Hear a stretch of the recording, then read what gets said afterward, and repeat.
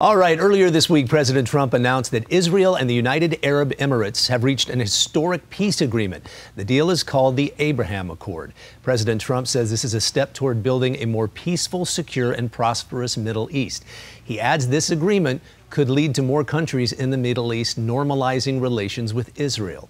And joining us via Zoom to further discuss the president's announcement is Eli Berman. He's from the Israeli Conservative Party, the Likud Party. You are also, uh, Eli, a former uh, paratrooper there in Israel. Are you in Israel right now, Eli? Yes, I'm now currently in uh, Tel Aviv, in the okay. center of Israel. Okay, let me ask you this: When you first heard about this agreement, did it? What were your first thoughts? Were you surprised?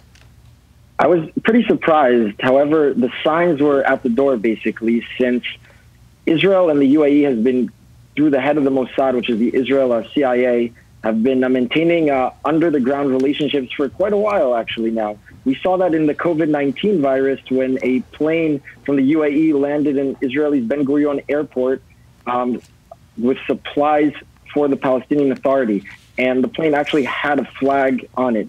So for the UAE to take steps that were less under the ground and in the eyes of the public, it wasn't as shocking, but the moment in time that it did happen, it was pretty surprising.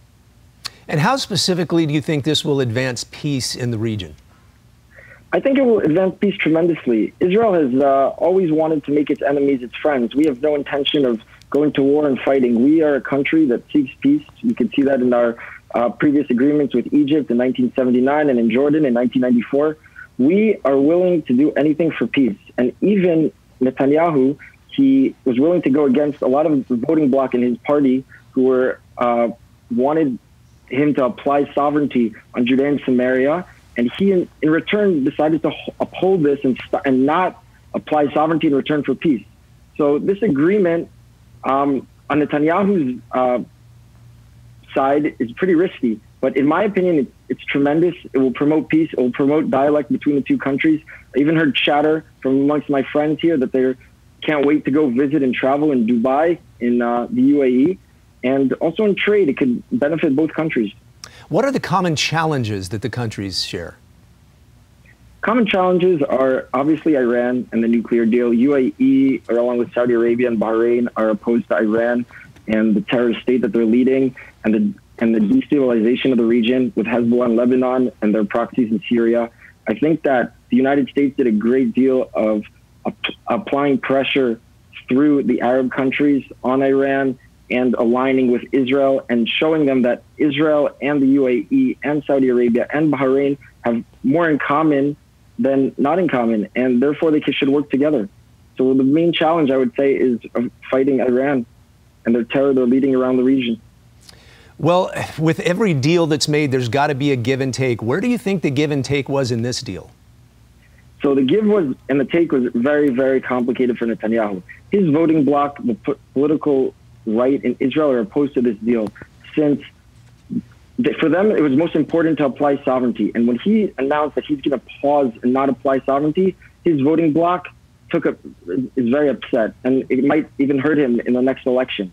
On the contrary, the left in Israel didn't want him to apply sovereignty and are pretty much happy with this deal since um, they think that Israel should maintain relations with its with its neighbors. So the take, the give and take, is pretty complex politically for Netanyahu. In my personal opinion, I think it was a good deal. Israel needs to have better relations with its neighbors. I think this could open doors. I hear that Bahrain might. Um, open diplomatic ties with Israel and even Saudi Arabia in the future. And this could do tremendous things to Israel's economy, security, uh, tourism, any aspect for the country. So, in my opinion, I think it's a good deal. Okay, so you are encouraged and optimistic moving forward. 100%. Um, I think that the U.S., a lot of Jared Kushner and the president have made a great emphasis on the Middle East. I think the U.S. invested over the years a trillion, billions, trillions of dollars in this in the in the Middle East, and for them to take a stand to try to stabilize the region, in my opinion, it's, it's a tremendous step. Okay, and Eli, uh, one more question. In your opinion, is the brokering of this deal worthy of a Nobel Nobel Peace Prize? So it's it's a very interesting question. Since in 1979, the Jimmy Carter and and Begin and, and Sadat, um, they also there was discussion then amongst the Nobel Peace Prize. For me, anyone who who rec- uh, brokers a deal that has lasting and real peace should be considered, at least considered for this prize. And this deal looks like, as of now, we'll need to see it once it's uh, more on paper, um, could be uh, uh, deserving of a Nobel Prize. All right, Eli Berman coming to us from Tel Aviv. Eli, thank you so much for your time and perspective. We sure appreciate it. Thank you so much. Have a good day. You too.